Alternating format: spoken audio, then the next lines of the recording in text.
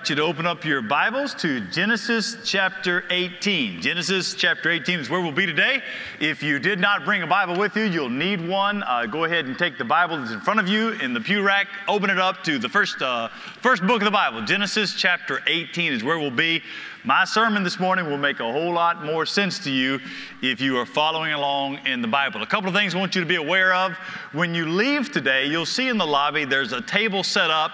That is our mission table that is describing the trips we're going to take in uh, 2018. So if you have any interest whatsoever taking a trip in 2018, you want to stop by and uh, t- taking a mission trip, I should say, not just any trip, a mission trip uh, stop by and see uh, some of the guys that are standing behind the table, give you some information on our mission trips coming up uh, this year.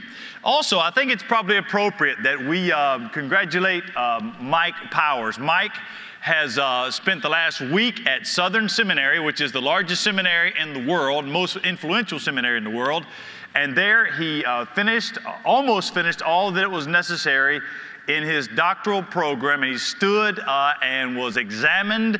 And I heard from the guys at Southern, they told me that he made straight A's on all his papers. I think Candy probably helped him with that.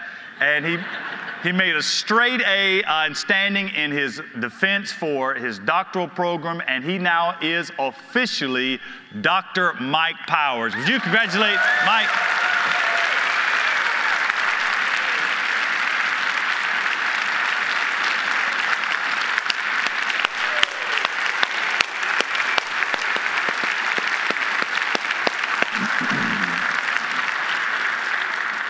Right, you might stand back up and get your Bibles.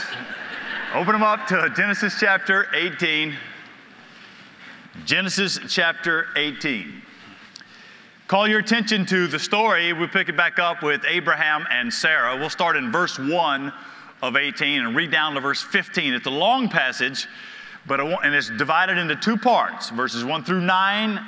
And then, uh, then after that, it is about Sarah. And we're going to have our attention mostly on Sarah today. Grass withers and the flowers fade, but the word of our God stands forever. Let's begin verse 1.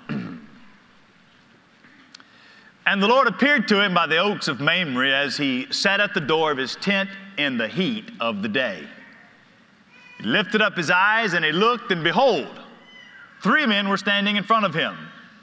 When he saw them, he ran from the tent door to meet them, and he bowed himself to the earth. And he said, Lord, or, O Lord, if I have found favor in your sight, do not pass by your servant. Let a little water be brought.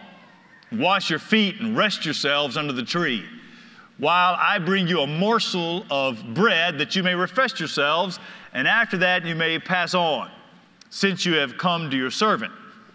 So they said, Do as you have said. Abraham went quickly into the tent to Sarah and said, Quick, three seahs of fine flour, knead it, make some cakes. And Abraham ran to the herd and he took a calf, tender and good, gave it to a young man, and prepared it quickly. Then he took curds and milk and the calf uh, that he had prepared, and he set it before them, and he stood by them under the tree while they ate. They said to him, Where is Sarah, your wife? And he said, She is in the tent. And the Lord said, I will surely return to you about this time next year, and Sarah your wife shall have a son. And Sarah was listening at the tent door behind him. Now, Abraham and Sarah were old, advanced in years. The way of women had ceased to be with Sarah. So Sarah laughed to herself, saying, after I am worn out, my Lord is old, shall I have pleasure? The Lord said to Abraham, Why did Sarah laugh and say, Shall I indeed bear a child now that I am old? Is anything too hard for the Lord? At the appointed time, I will return to you about this time next year, and Sarah shall have a son. But Sarah denied it, saying, I did not laugh, for she was afraid. And he said, No, but you did laugh. Let's stop there. Father, we thank you for your goodness to us, and we pray that you would use this passage to turn our eyes and our lives to the Lord Jesus. In his name we pray, amen. You may be seated.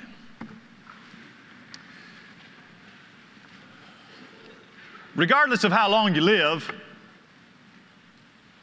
or where you're from, or even this morning, how confident you might appear, we all sometimes have doubts. We doubt our ability for a task. We doubt our acceptance in the crowd. We doubt maybe our happiness for the future. You doubt if you're pretty enough or good enough or smart enough, strong enough. Some of you doubt God's call.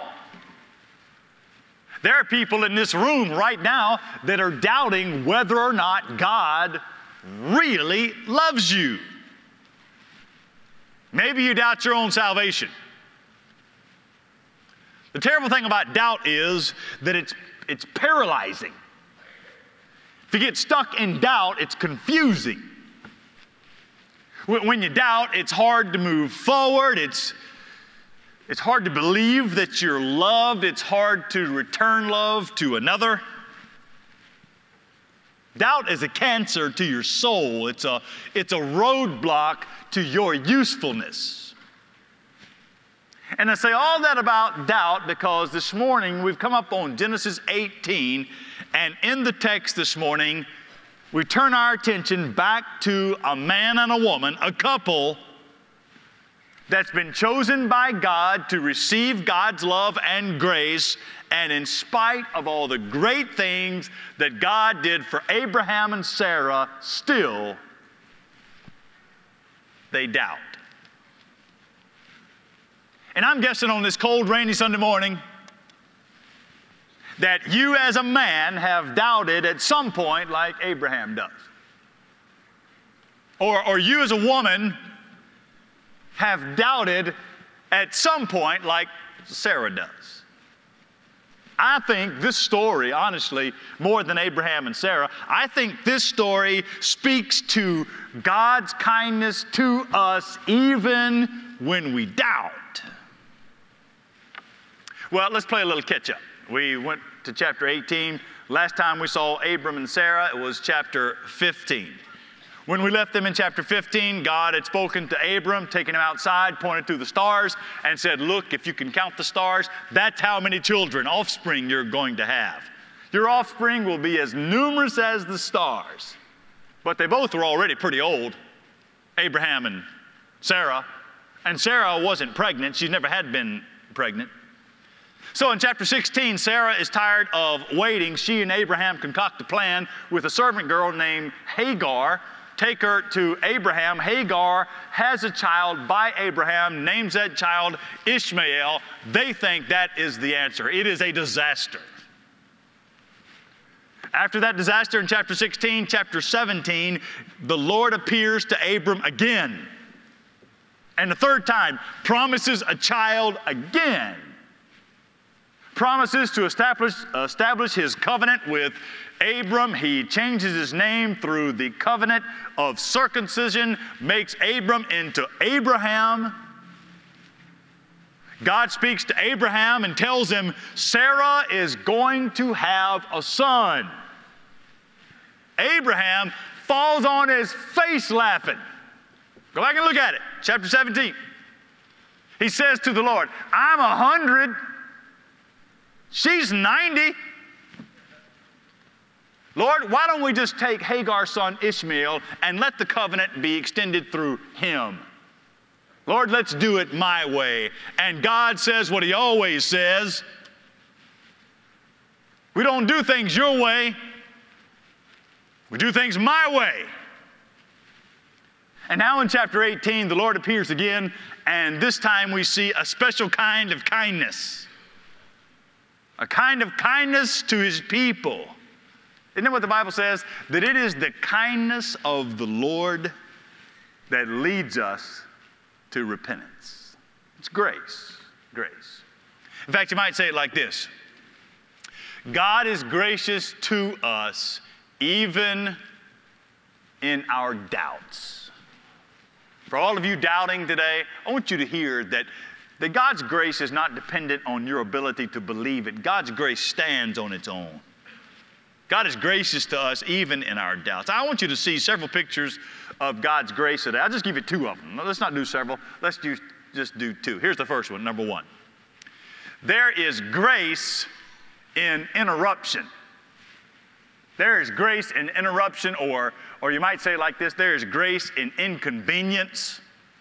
This week you're going to be inconvenienced with something. I'm telling you that there's grace in that. Now, I know this is going to come back on me. Oftentimes, if I'm being impatient, uh, my wife Connie, she might say to me something like, Hey, babe, you know, I heard in a sermon one time to be patient is like, is honor to the Lord.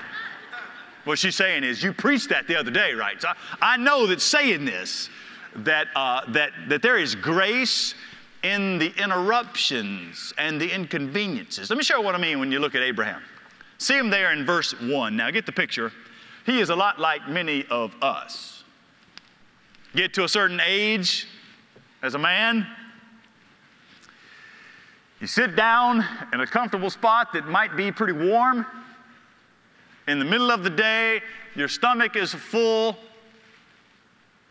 you get comfortable, you doze right off to sleep. I see some of you do it in here.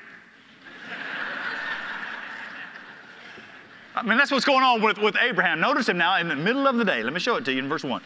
And the Lord appeared to him by the oaks of Mamre as he sat at the door of his tent in the heat of the day. That's a good time to take a nap. The morning work is done, the sun is now high in the sky. He goes to his tent, sits close enough to the very front of that tent so that the gentle breeze would come in and put him right to sleep. It is nap time in the Middle East. One thing you don't do is go around and visit people at nap time. And yet, this semi retired man in a 100 degree day who is 100 years old, sitting in his tent, with his eyes just starting to go down, and he looks out. Verse 2. He lifted up his eyes and he looked. Behold, three men were standing in front of him. When he saw them, he ran from the tent door to meet them and he bowed himself to the earth. Now, when we read this, we've got to remember how it's written and what's going on in the story. It is written in such a way, the man Moses wrote the first five books of the Old Testament. So Moses wrote this so that we, as the readers, when we read it, we know that this is the Lord appearing to Abraham. But Abraham doesn't know he thinks it's three men. Later on, he'll find out it's the Lord and two angels. When you see him saying, Oh Lord, that's very similar to him saying, Sir. And so at this point in the story, Abraham doesn't know that this is God showing up to him. But there are some things I think we can learn from Abraham when we look at verses 1 down to verse 8. I'm going to move sort of quickly through it because I want to get to Sarah. I want you to see that I want you to see that God works in His time and not our time. God is not running on your schedule, we are running on His. I mean, this honestly, in the text, th- this is a terribly inconvenient time. This is an unannounced visit by an unknown person. This is a little bit annoying. This is you being home on a Saturday morning and the kids are laying around in their pajamas, they're watching cartoons, you hadn't combed your hair, and someone texts and says, I'll be, I'll be by in five minutes. Well, you're jerking up kids and throwing stuff and, and, and getting it so it's presentable. This is an inconvenience in life. This is the Lord coming in this is something that's going to happen to you this week. It's Sunday. Something's going to happen to you Monday to Friday. Something's going to happen to me. I know. That is an inconvenience, that is an interruption, that is an annoyance, that it's a traffic jam or a phone call that I got to return or an unexpected change. I'm going to invite you this week to remember this. Let it be a reminder that God is in control, that God is in charge, and you are not. And, He works in His time frame and not ours. I mean, you look at Abraham, notice his attitude in verse 2. He sees these three men. He doesn't know this is the Lord yet. He'll find out about verse 9 or 10, but he doesn't know yet. And he just, I mean, just takes off running. Do you see in verse 2? Hey, it's 100 degrees. He's 100 years old. That's remarkable that he's running. He gets there to him, keep looking at it, verse 2, and he bows down to the earth. That means he lays all the way down. He's 100 years old. He's got to get back up at some point. This is remarkable. A, there is this sense of urgency, there is this sense of humility. Look at verses 3, 4, and 5. He gets there to those men and he says to them, Let me get you some water for your feet and refresh you. Let me bring you a morsel to eat. He runs back to the tent, gets Sarah, uh, cook up some. Cook up something, Sarah. I'll go and get the, a calf uh, that's tender and good. Notice all of this, this hospitality. Verse 6, it's not just he fixes them a meal, he says, I'll bring you a morsel. He brings them three seahs, gallons of baked goods. I don't know why you'd want milk and curds, but anyway, I guess this is what you eat. It's 100 degrees. I don't, don't bring that to me at 100 degrees, but he's bringing it to us a meal. It's a feast that they could never eat. It's generosity. You know what you have here is humility, it's your attitude. Some of you don't need to become Christian, you're already a Christian, but you need to have a better attitude about it. One of, of serving and humility and hospitality and generosity. A lot of people think that, um, a lot of people think that the writer of Hebrews, I've been looking at this all week, a lot of people think that the writer of Hebrews uh, had this passage in mind when he said in Hebrews chapter 13, verse 2, do not neglect to show hospitality to strangers, for thereby some have entertained angels unaware. When the interruptions come this week, remember, God works in His time, not ours. Let me tell you something else about interruptions and inconveniences. Interruptions, here's the second, um, if you want to call it a sub point. Interruptions, they remind us of our condition. Our condition. Let me show you what I mean. If you look back in verse 1, go back to verse 1, and in verse 1, we find out that the Lord is going to come visit Abraham. There's a visit going on here, verses 1 and 2, and he comes to visit Abraham at the hottest part of the day. Now, think about how that stands in contrast with how God would come and visit Adam and Eve. Remember how he originally visited his people? And when during the day, what part of the day God would show up to Adam and Eve? The Bible says that he would come in the cool part of the day. Now that sin has entered in the world, now that the world is fallen, the fact that, that you and I are inconvenienced, the fact that we are interrupted, the fact that we are frustrated, it reminds us. All of the, all of the nitpicky stuff you're going to face this week and I'm going to face, it reminds us that, that we are sinful, fallen people living in a broken world that needs Jesus Christ, the Redeemer. We need Jesus to make everything right through the cross.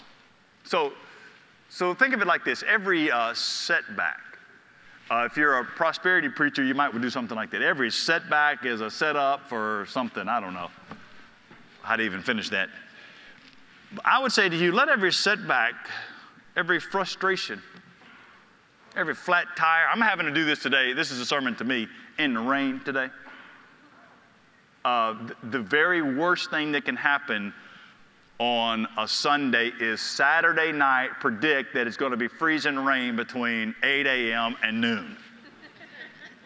uh, anytime but that time, and then have it coming down like it is now, that I would not choose for the Lord to send rain on the just and the unjust at church hour on a Sunday. I just wouldn't. So I'm, I'm having to preach this to myself that every frustration, every, every, every flat tire, every sleepless night, this week if you travel, every delayed flight, all of these things that happen to us, they are a consistent, they are consistent reminders of our need that we live in a fallen world. We need the cross of Jesus. There is grace. There is grace in interruptions and inconvenience. Now let's put that on the shelf. That's Abraham. Let's turn our attention now to Sarah. Here's the second thing I want you to see that there is grace in confrontation. Confrontation. Let me set it up for you. We find out around verse 9, uh, that's when Abraham sort of gets it, and around verse 9, that this visitor and this visit, it really isn't about Abraham. This visit is about Sarah. And verse 9 is the first indicator that this is not the average visitor that's come to visit Abraham. Let me read verse 9. Let me show it to you in verse 9. They said to him, Where is Sarah, your wife? And he said, She is in the tent. Well, when you read verse 9, they said to him, Where is Sarah, your wife? I got a couple of questions for these visitors. Number one, how do you know I'm married? Number two, how do you know my wife's name? Verse 10, okay, verse 10, it gets even more serious. Abraham in verse 10, he's starting to realize that this is the Lord. Now, he's listening to a conversation, having a conversation with this person. Meanwhile, I'll show it to you in verse 10. Sarah is back in the tent. She hears some commotion going on up there. She sneaks up behind in a tent, behind one of the tent flaps, and she's listening. Maybe she's eavesdropping. And what happens in verse 10 is for her. Let me show it to you, verse 10. The Lord said, I will surely return to you about this time next year, and Sarah, your wife, shall have a son. Sarah was listening at the tent door behind him. Now, verse 10 the Lord has revealed himself. How has he revealed himself? Because he alone can faithfully promise life out of barrenness and decay and hopelessness. That's a promise in verse 10. It is a specific promise. Remember back in chapter 15? God promised Abraham, it was a general promise. Chapter 17, God promised Abraham now, chapter 18, the promise has it's escalated to an exact time. God is making a promise to Abraham and Sarah that is going to demand faith. But notice what we're told. Notice what we're told in verse 11, and notice how everything is stacked against Sarah. Moses writes it in such a way so that we would understand that uh, this is an impossibility. Let me read it to you, verse 11. Now, Abraham and Sarah were old. Stop there. Okay, just in case you didn't get that, verse 11, that means they were advanced in years. And to provide some more clarity for us, verse 11, the way of women had ceased to be with Sarah. Now, here's the trouble with doing expository preaching. Is you run up on a verse like verse 11 that says, Hey, preacher, now explain this to your church. So, how can I explain that the way of women had ceased? Uh, she, uh, Sarah had already, Sarah had already had all of the hot flashes. She, she already been through all the mood swings. She, she's already messed with the thermostat in such a way that her husband wearing a hoodie around the house and it's freezing cold. And She laying over there like a kerosene heater. She's already been through all of that. The way, that's, look, all this is in the Bible now. This is in the Bible. The way of woman was gone. She'd been through the change. Brings us to verse 12. Because she had been through the change, verse 12 tells us that she, look at it, verse 12, that, that she laughs. I mean, that's what the text says, verse 12. So Sarah laughed to herself. Now, before we start pointing the finger at Sarah, let's not forget back in chapter 17 when Abraham heard that he were going to have, they were going to have children. Abraham laid on the ground laughing. So why do we why do we deal with this with her? Why is she called on the carpet? Later she will be, and we'll get to it. Why is this a big deal about Sarah? Think about who this is now. Get inside her head just a little bit and what's been going on in her life. Maybe, maybe she laughed to herself skeptically. Maybe it's um, maybe it's just maybe it's just disbelief. You just I just can't you just can't see it. I mean, we're oftentimes we operate like practical atheists. We believe in Jesus. We just don't think he actually is going to do those things for us. And so maybe she struggled with that. Maybe and maybe simply it's just a defense mechanism. She wouldn't allow, think about this little girl that, that came into a young woman that was married. She grew into a middle aged woman, always wanting a child, being whispers, hearing whispers of a promise. Maybe she's just afraid. I mean, you get down to verse 15, we know she's afraid. Maybe, maybe the pain of, of, of being so old and waiting so long Verse 12 says, she laughed to herself. You know what this is a reminder of? That she laughed to herself? This is a reminder. We don't do things just to ourselves. Remember what the writer of Hebrews said in Hebrews chapter 4, verse 13? No creature, no creature is hidden from his sight, but all are naked and exposed to the eyes of him to whom we must give account. And in our story, the Lord confronts her. You see it in verse 13? The Lord says in verse 13, now he, he, he doing this through Abraham, but she's listening. Verse 13. The Lord said to Abraham, Why did Sarah laugh and say, Shall I indeed bear a child now that I am old? That's verse 13. The Lord conf- confronts her. Now, drop down with me to the end of the chapter, I mean, to the end of the passage, verse 15. Verse 15, she denies it. That's what the text says. Sarah denied it, saying, I did not laugh. Why did she do that? Text says, she was afraid. The Lord says, Oh, oh, but you did. You did laugh. She's afraid. She's afraid to believe it. And, I mean, in the middle of all of this, this is humiliating. Uh, this is a difficult, probably humiliating event. God gives us, in verse 14, one of the greatest, most gospel driven reminders found anywhere in the Bible.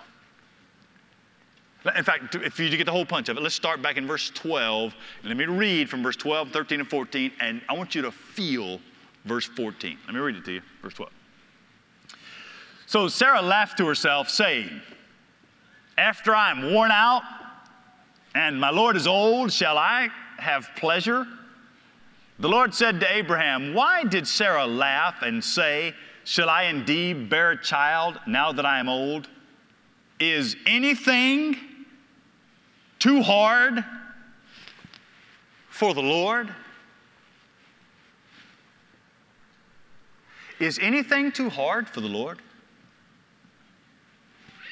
Part of the purpose of you being faced with an impossibility is so that you can see that God is magnified and remind us that we are not Him. The writer of Hebrews tells us that, you know, Moses didn't finish the story on Sarah, he just sort of leaves it hanging there. The writer of Hebrews picks it up for us and tells us in Hebrews chapter 11, verse 11, by faith, Sarah herself received power to conceive even when she was past the age, since she considered him faithful who had promised. That question in verse 14, that question that says, Is there anything too hard for the Lord? That question is spoken on Sarah's behalf. That is there for her. Why? Because Sarah is like some of you. She'd been looking at her circumstances. She knew her own body. She knew how old she was, that if nature took its course, she would never have a son. She was looking at her circumstances instead of looking to God. Sarah had to get her eyes off of herself.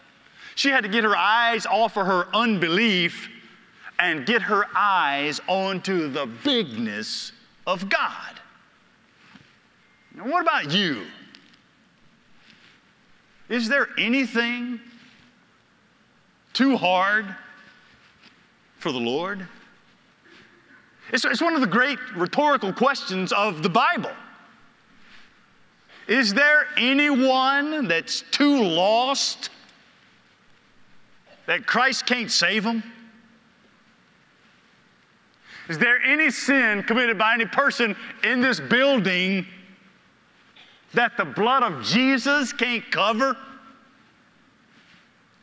Hey, hey, hey, think about what, what we've heard in the national news and probably been experienced by some of you. Is there any abuse too brutal that God can't heal and get you through? Is there any, is there any adultery too scandalous that God can't forgive and repair and redeem? Is there any life? Is there any life too depressed that God in His grace can't gently pull you out of the hole? Is there any hatred too hard that God can't soften and remove? Is there any sadness so deep that He won't dive in to get you, pull you back to life? Is there any marriage that, that's too far gone? Is there, is there any addiction that's too strong? Stronger than God? I, I'm asking you for a personal response. Is there any amount of human suffering that can't be absorbed at the cross of Jesus Christ? The cross is the centerpiece of history. The cross is the dividing line of grace. And the cross of Jesus is the ultimate answer to the question Is there anything too hard for God? The Bible says at the cross, though your sins be like scarlet, they shall be made white as snow. I'm hoping that by God's grace, you've been confronted today with your own doubt. And you this morning will come to Christ. You join me as we pray. Your heads bowed this morning. Now, we're going to have an invitation, and I want you to listen to the invitation. I'm going to speak to Christians first. Christians.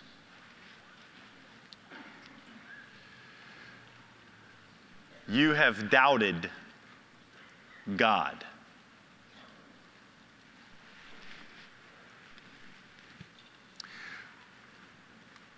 Some of you have to the degree that it has really paralyzed you. and so this morning, the invitation is to you as a believer. I'm going to invite you to come forward in a physical act that represents a spiritual reality and just kneel here and pray and seek the Lord's grace and, and mercy. You may even just want to confess. You can have somebody pray with you. You can pray by yourself. I'll invite you to come. Let's be done with these doubts. Or let's at least start the road out of it. That's for Christians. The second part of the invitation is for those of you that are uncertain. You're just not sure where you are. I, I want to tell you this. Now, look, God has created you for His glory, your sin is keeping you from living for that stated purpose, God's glory. Jesus Christ, the story of Jesus is this He lived perfectly, because you and I can't. He died on the cross in the place of sinners, taking the judgment, God's judgment for sin. God raised him from the dead. So that is an act that has happened. And the way you access that act, the way you appropriate what God has done in Jesus, is through one thing that's believing. I'm asking you to trust Him. That, that means you turn away, we call it repentance. You turn away from your old sin, you turn, trusting the cross of Jesus Christ. God has spoken to your heart this morning. As a believer, you want to come and pray. As someone that is uncertain, you want to be certain. When we sing, I'll invite you to come. Father, thank you for your word that is so good and your grace that is so real. And I pray you would pour that grace out now. In Jesus' name we pray. Amen. Would you stand, please, as we sing together?